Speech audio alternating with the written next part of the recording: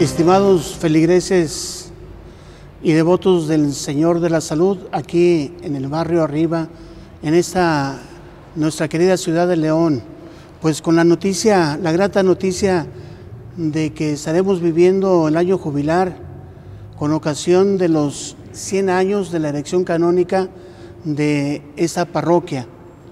Por allá en el 1918 se hace la solicitud eh, por parte de los vecinos a la cabeza de entonces del capellán y vicario de esta, de esta capilla, de este templo, eh, don Fermín Aguilera, al señor obispo don Valverde Telles para que se erigiera como parroquia eh, es por las necesidades de atender a las personas, a la feligresía y más aún, se dice el documento, eh, por la reciente hospital o el reciente hospital que se tenía aquí mismo en el barrio para atención a los mismos enfermos.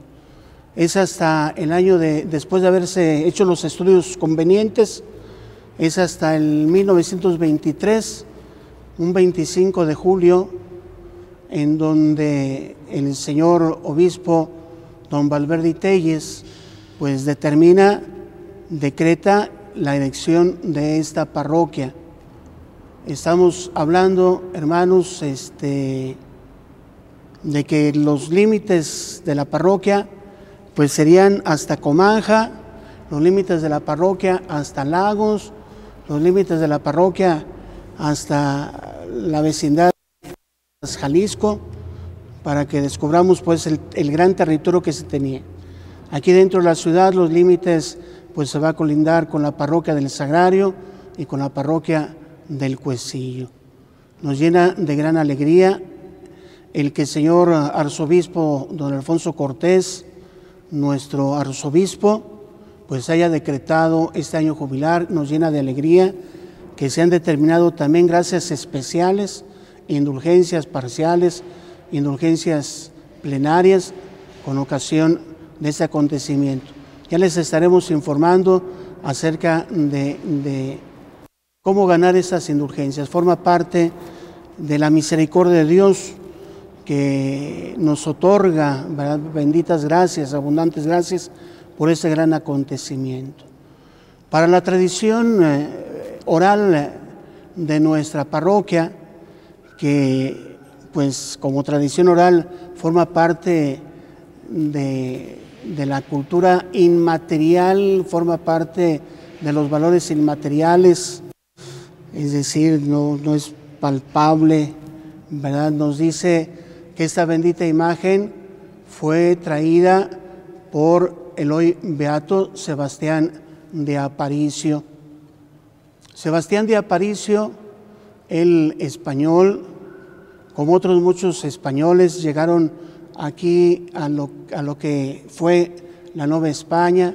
A él se le atribuye a Sebastián de Aparicio el, que introdujo las, la carreta en, nuestra, en, en la Nueva España.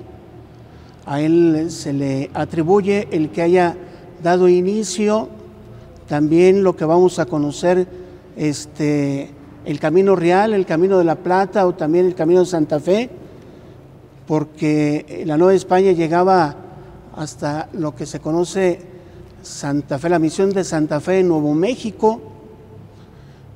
Había necesidad de, transportar la mercancía, había necesidad de transportar este, el mineral, eh, mercancía que venía de acá del centro del país, hermanos, de lo que podemos pensar como en la capital de la Nueva España, lo que hoy es la Ciudad de México, había necesidad de, llegar hasta Zacatecas y aquí la Ciudad de León, aquí nuestro barrio era un paso obligado para llegar, para llegar eh, a esta zona minera.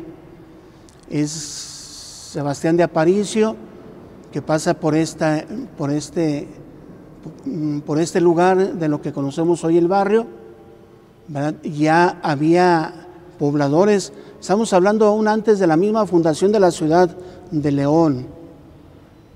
Este, La ciudad de León se funda en 1576 y estamos nosotros hablando del 1542-43 aproximadamente.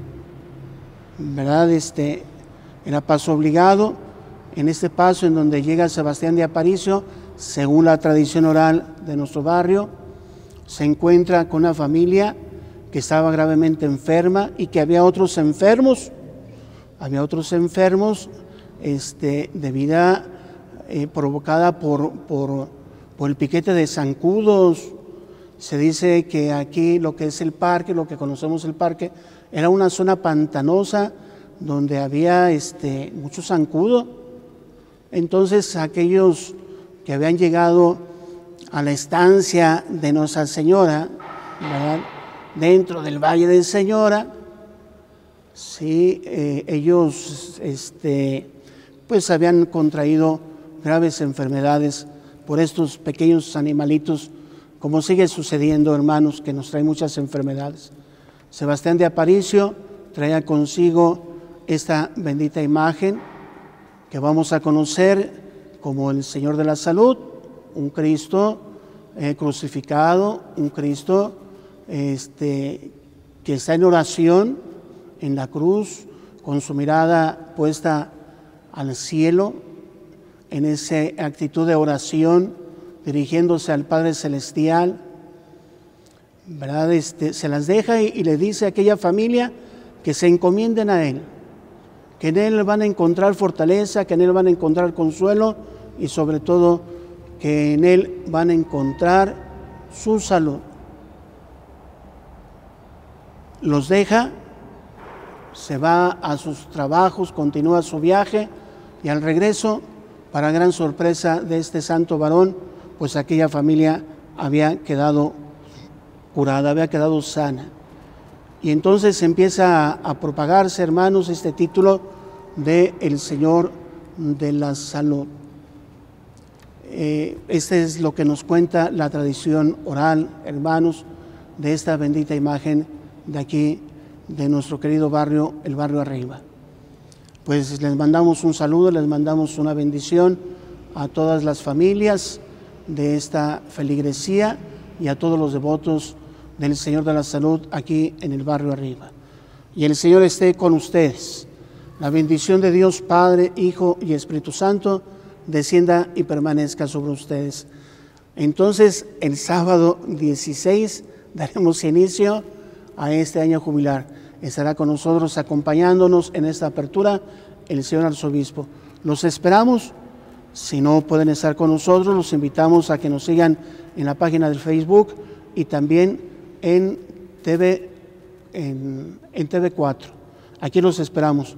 Que pasen muy buen día, buenas tardes, buenas noches a la hora que nos estén sintonizando. Hasta luego, hermanos. Que el Señor les bendiga.